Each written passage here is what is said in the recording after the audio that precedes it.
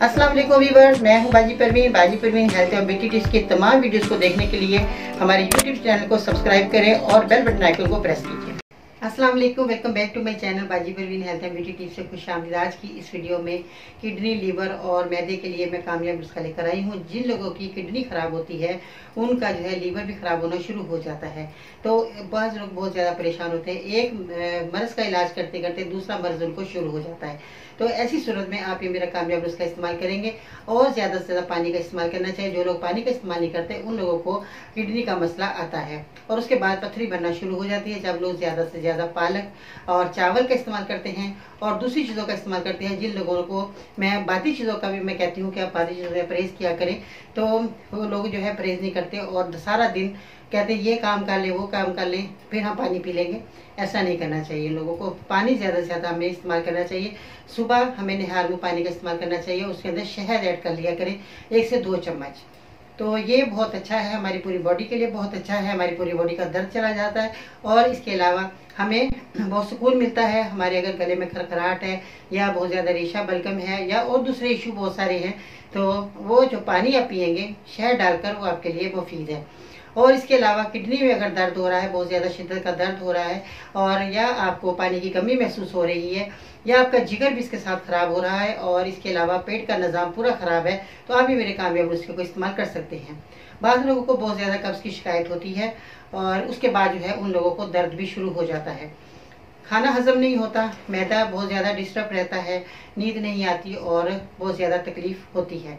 ऐसी सूरत में आप भी मेरा कामयाब नुस्खा इस्तेमाल कर सकते हैं। चलिए जी, नुस्खे की तरफ़ चलते हैं कि आपने किन चीज़ों का इस्तेमाल किस तरह करना है।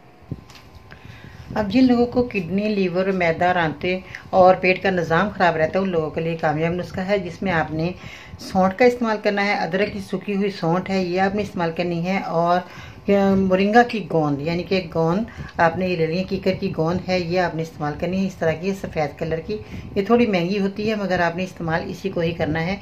कोई बात नहीं, इतनी महँगी दवाइयाँ भी तो आप खाते हैं, अगर आप इस महँगी चीज़ को ले लेंगे तो आप एक मुकम्मल आपकी दवाई बन जाएगी और आपको फ़ायदा देने वाली है, जिसमें आपको किडनी, लीवर, मैदा और आंतों आंतों का और पेट का निज़ाम ठीक होगा, और इसके अलावा और भी इसके बेशुमार फ़ायदे हैं, जो मैं अभी आपको बताने वाली हूँ।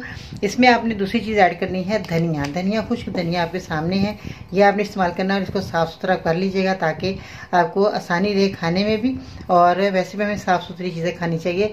पहले हमें घर लाकर साफ़ करें, फिर आप इसका पाउडर बना सकते हैं आराम के साथ। मोरिंगा की गोंद आपने लेनी है और इसके बाद आपने लेना है अदरक की सूखी हुई सौंड, जैसे आपके सामने मौजूद है, धनिया।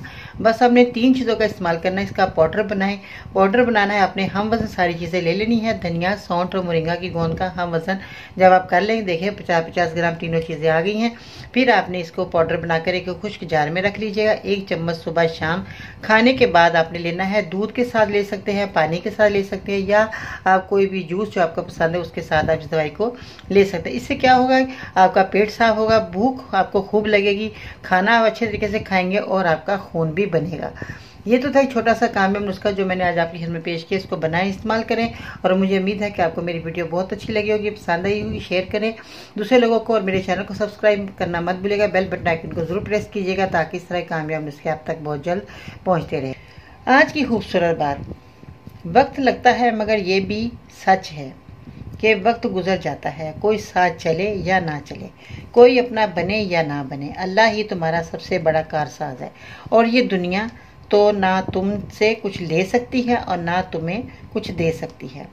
तो तुम यकीन तो रखो, फिर देखना, वो इस यकीन की डोर को अपने कुन से कभी टूटने नहीं देगा। अपना ख्याल रखिएगा, इसके साथ ही बाजी भी उनको इजाज़त दीजिएगा। इन ज़िंदगी रही तो फिर मिलते हैं नई वीडियो में। तब तक के लिए अल्लाह निगेबान